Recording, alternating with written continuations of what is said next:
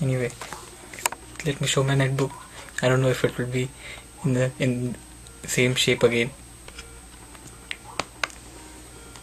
It's Eee PC 1008HA we are going to upgrade the RAM from 1GB to 2GB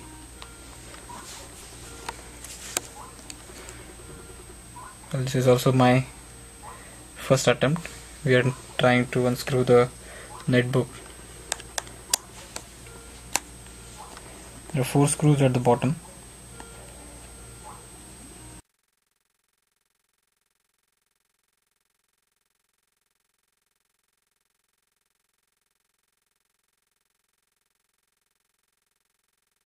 Next step. I'm gonna have four pins here.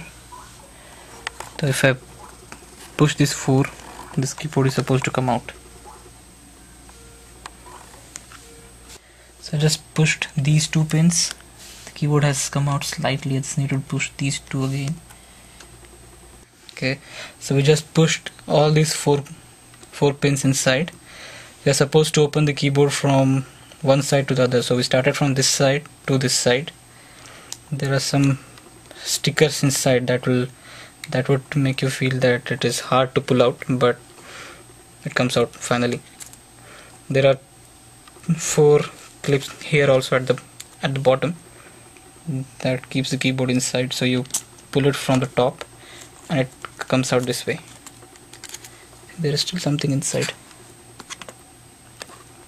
I am still supposed to remove this this bus somehow so that the keyboard can be disconnected. I see two black things here.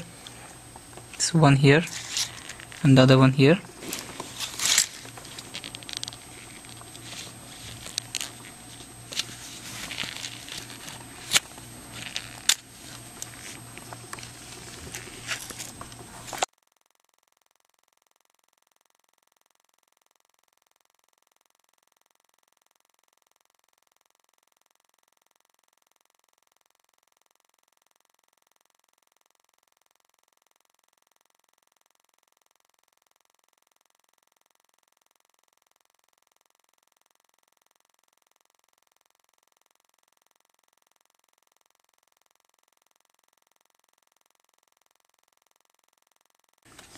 unscrewed everything. So there are six small screws. There is one big one which one so this one was below the sticker that said seal if broken you void the warranty. So I guess I have done that already. But yeah so these are the six screws you are supposed to remove and this big screw. This is how it looks then on.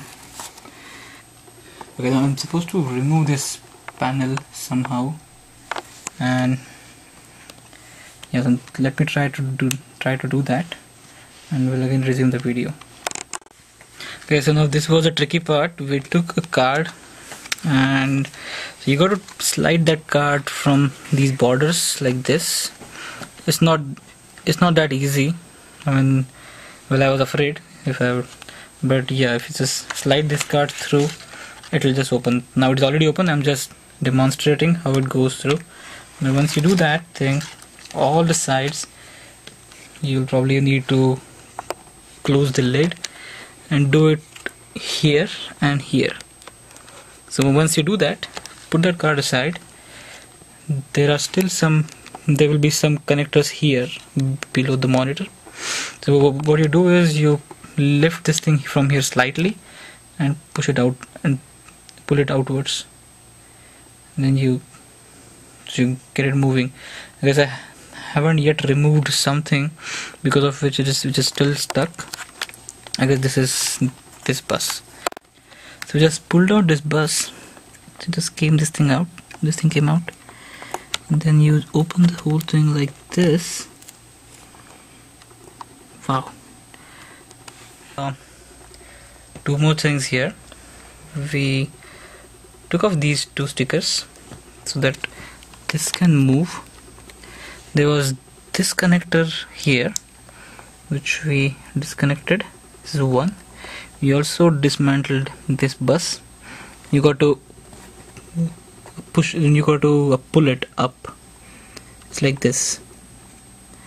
And we also removed this sticker.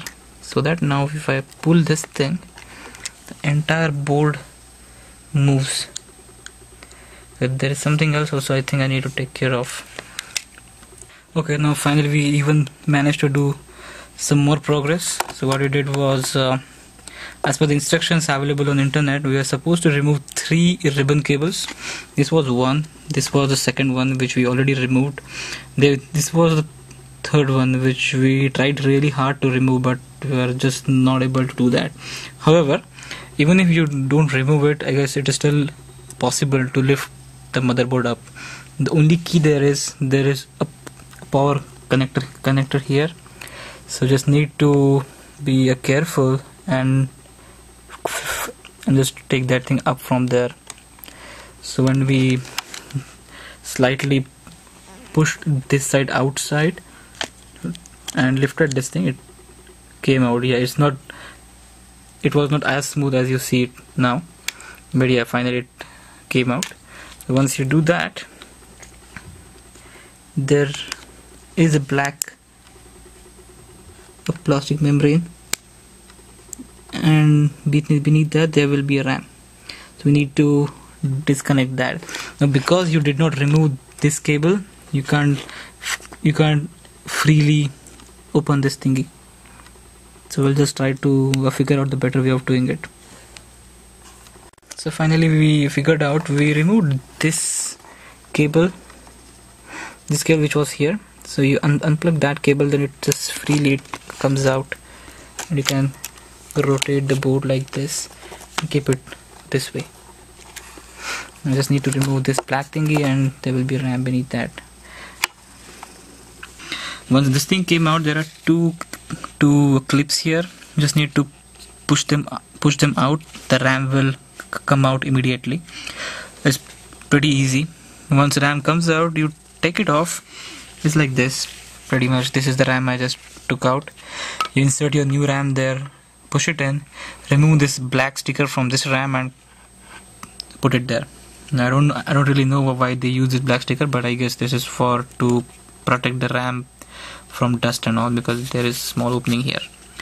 So, so that's it. We plug the RAM now which looks pretty much nice. Now there is one more one more Herculean task to connect everything back